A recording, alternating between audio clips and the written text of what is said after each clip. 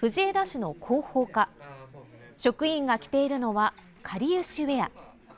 沖縄の文化や自然をイメージしたデザインの服で通気性が良く沖縄で定着している軽装です。藤枝市は沖縄県宮古島市と友好都市提携を結んでいて宮古島の PR を兼ねてクールビズにかりゆしウェアを取り入れています。